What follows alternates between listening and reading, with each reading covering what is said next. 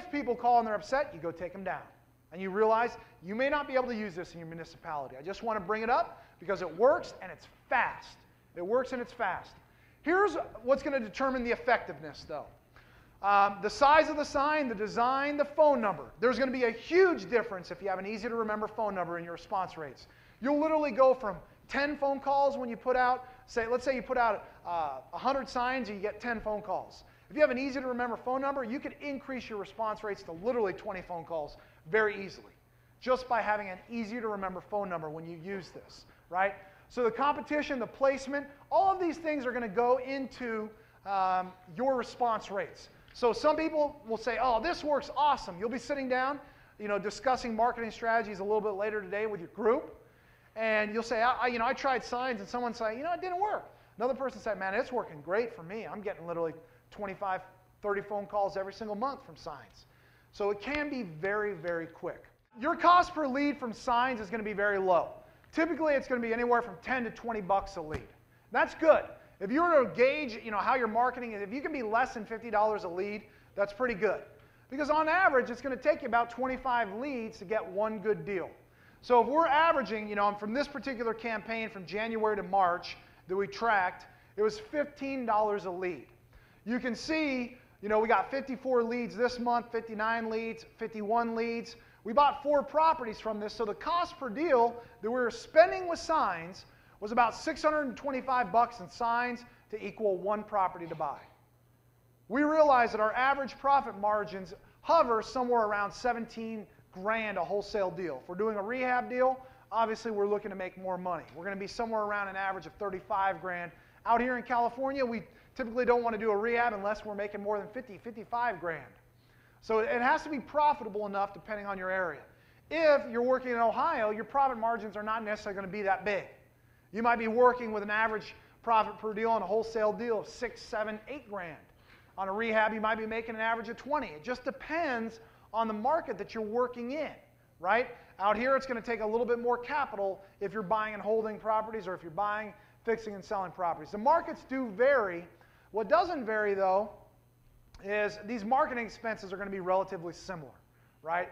Uh, here's how we get these signs out there, though, and I'm going to point these things out. Uh, what you want to do is you want to, if you were to execute this and you said, I want to implement this when I get home, this is an idea that you haven't tested yet. What you do, the first thing you do is you order your signs, obviously. Second thing, though, that you should do is pull up Google. You can use Google, it's the easiest way, it's free, and start to divide your area up into different sections. You'll know which areas have busier streets and which ones don't. What I want you to do is just create a little route map. So divide your area up into anywhere from four to eight different sections.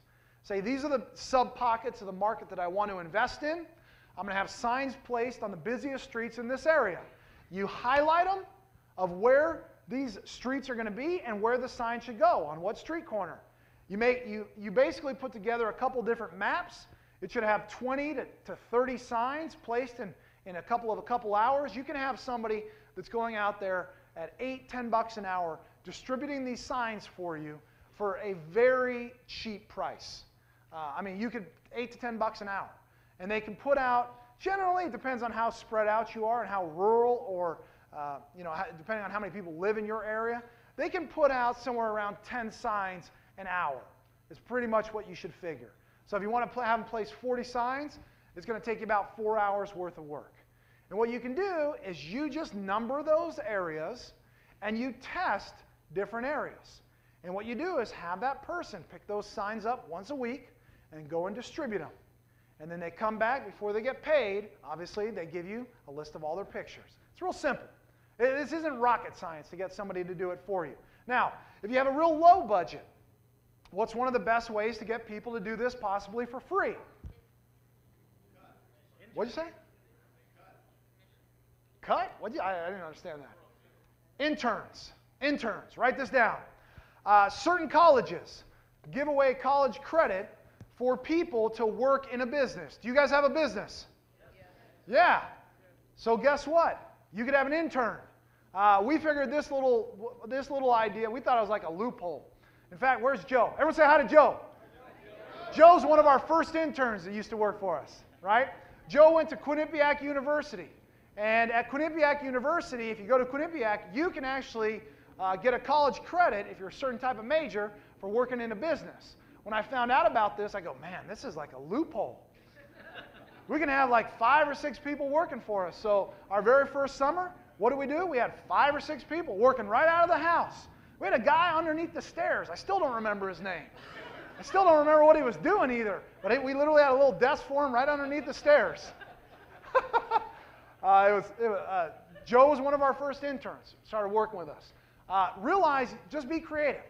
Uh, what you want to do is find the Career Services Center. So if you want an assistant for free, there are colleges, not every college, but there are universities that give away college credit to people that work in a business 15 hours a week.